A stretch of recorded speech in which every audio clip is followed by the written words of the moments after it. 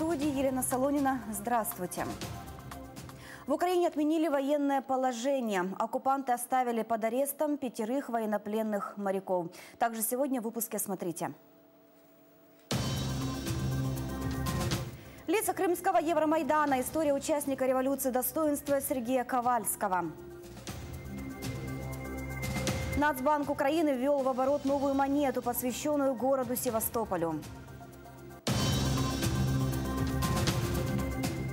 Завершилось действие 30-дневного военного положения в Украине. Об этом на заседании Совета нацбезопасности и обороны сказал президент Украины Петр Порошенко. Его ввели после захвата украинских моряков и трех судов в Керченском проливе. Он действовал в 10 областях Украины, в том числе в граничащей с аннексированным Крымом Херсонской области. Пять украинских военнопленных моряков останутся под арестом до 24 января. Оккупационный Верховный суд Крыма отклонил апелляции стороны защиты на арест моряков. Богдана Небелицы, Олега Семидотского, Дениса Гриценко, Юрия Безязычного и Олега Мельничука. Им сократили срок пребывания в СИЗО на один день из-за технической ошибки. Адвокат Небелицы Эмиль Курбединов требовал признать своего подзащитного военнопленным. Я просил отменить постановление суда. А вот, я просил о том, чтобы в соответствии с Женевской конвенцией Богдана и всех, в принципе, других моряков содержали не в следственном изоляторе, а хотя бы в воинской части какой-то на время переговоров о немедленной э, возврате да, Богдана, Небылица и других на э, территорию материковой Украины. Богдан держится прекрасно. Единственное, что он сказал, что у него э, начались боли э, в районе сердца. Два письма, адресованные капитану украинского буксира Яны Капу Олегу Мельничуку, изъяли российские тюремщики. Об этом нам рассказал адвокат Эдем Семедляев. По его словам, тюремщики отправили письма на проверку. Он как бы увидел эти письма, но ему их не дали, сославшись, что как бы ну, не пропустили эти письма. И также он направил одно письмо своим близким, и, к сожалению, вот он не знает, дошло оно или нет. 24 украинских военнопленных моряков удерживают в СИЗО Москвы. Обвиняют в якобы незаконном пересечении российской границы. Им грозит до 6 лет лишения свободы. Военные катера Никополь и Бердянск, рейдовый буксир Яны Капум российские спецслужбы задержали 25 ноября у берегов аннексированного Крыма. Фигуранты дела украинских диверсантов Владимир Дудко и Алексей Бессарабов заявили в суде о фальсификациях следствия. Об этом нам рассказал адвокат Сергей Легостов. Фигуранты выдуманного дела заявили о необходимости исследования вещественных доказательств, в частности телефонов, которые, по словам обвиняемых, им подкинули сотрудники ФСБ. Не зачитывают заявления. Бессарабов зачитывал, Дудка они говорят о фальсификации, о том, что им подкинули телефоны, раз. О том, что их пытали электротоком, обоих, два. О том, что карты им подкинули с отметками якобы объектов диверсии в Севастополе. Они этот город Севастополь завязанными глазами знают. Нет необходимости картами отмечать. А потом все отправили на экспертизу, где нашли якобы генетические их следы биологические. Ну, Троих украинцев оккупационные силовики задержали в ноябре 2016 года. Их обвинили в подготовке диверсий на аннексированном полуострове. Оккупационный суд приговорил Штыбликова к пяти годам колонии строгого режима. Дудку и Бессарабова удерживают в СИЗО два года. Оккупационный Верховный суд Крыма перенес рассмотрение апелляции по выдуманному делу Эдема Бекирова. Об этом нам сообщил его адвокат Алексей Ладин. По его словам, подконтрольный России суд загружен делами и отчетностью перед окончанием года. Когда состоится заседание, адвокату скажут после 9 января. Состоится вот в скором времени допрос а, его дочери Наджии Бекировой. Допрос состоится по ходатайству защиты и, соответственно, я просил э, ходатайство о том, чтобы я присутствовал при допросе. Следователь удовлетворил э, мое э, ходатайство. Используем все институты, то есть ОНК, э, уполномоченного по правам человека э, прокуратура для того, чтобы до Нового года провести медицинское обследование на предмет возможности либо невозможности э, содержания его э, в условиях СИЗО. И э, добиваемся Это Эдем Бекиров в зале оккупационного суда. Его арестовали на один месяц и 30 дней до 11 февраля 2019 года. Крымского татарина обвинят в незаконном хранении, перевозке оружия и взрывчатки. Российские силовики задержали его при пересечении административной границы с оккупированным Крымом 12 декабря.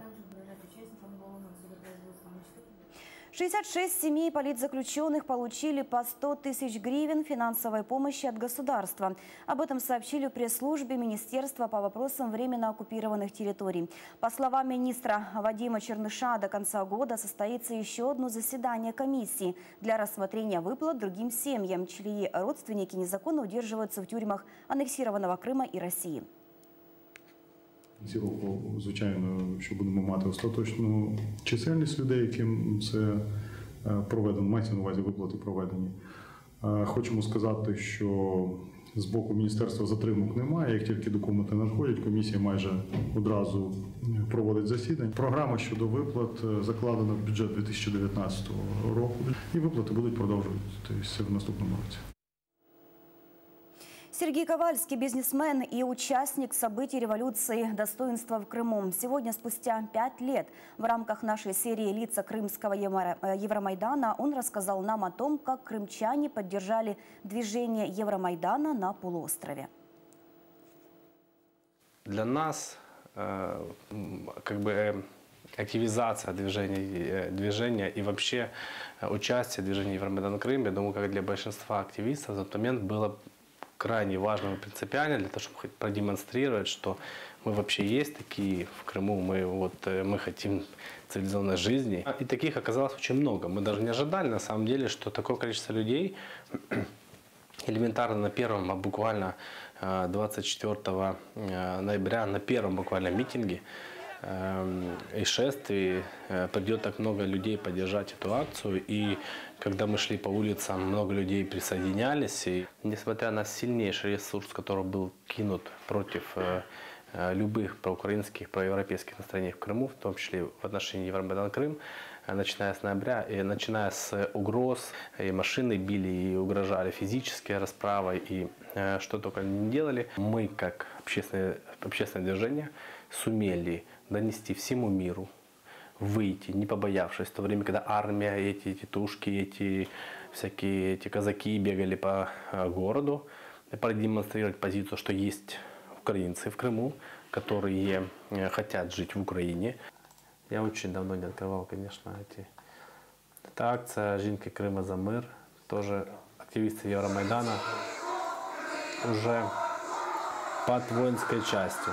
Вот, пожалуйста, смотрите, сколько собралось людей поддерживать э, военных в воинской части, да? То есть, где э, российские, да? Кто российских военных как поддерживает? Или вот тоже бабушка, пожалуйста. Вот это воинская часть Симферополя. И Очень интересный такой момент. за свободную Украину, без Путина. Понимаете? Путин – это не наш друг. Он называет нас другом. Брат никогда руку не поднимет на ближнего человека. Поэтому я прошу прочь от Крыма, прочь с Украины, прочь. Мы У мене тепер ні країни, ні дому. Тимчасова пропиш- прописка. Вороже місто. Синя-жовта сторічка температура. У мене тепер батьки іноземці. В очах питання: кому і нащо? Здалось, з- здалась земля моя, рідне море. Это стихи Нина Кале, жителя, э, в принципе, Си- Симферополя, крымчанки, 95-го рождения, которая через себя пропустила вот это событие. И когда я вчера читал этот стих, для меня ну, эти переживания опять нахлынули. То есть, э, что такое осталось все там? Что такое разделилось все напополам? Часть друзей, часть знакомых. Конечно, мы хотели бы оставить Крым. Но сегодня мы понимаем, у нас таких возможностей физически не было. Да? Но э, самое главное, весь мир увидел тех активистов, их было много на самом деле, которые вышли с флагами Украины, вышли с позиции Украины, особенно на день Тараса Шевченко, и вообще показали картинку миру, что э, Крым хочет быть в Украине.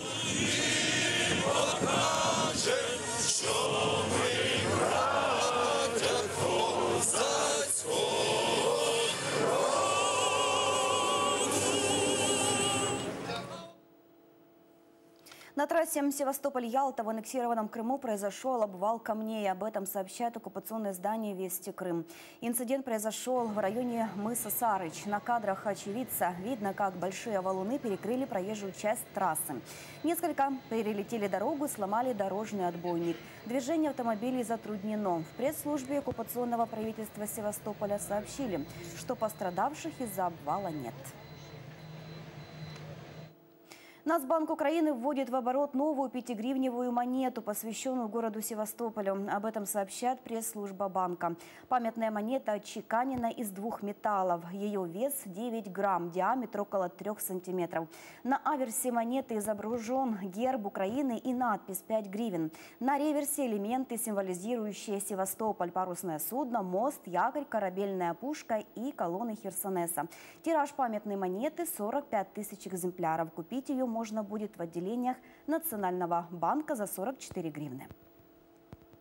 На эту минуту это все новости. В студии была Елена Солонина. Следующий выпуск новостей уже в 19.00. Оставайтесь с нами и подписывайтесь на Юэкрым Facebook.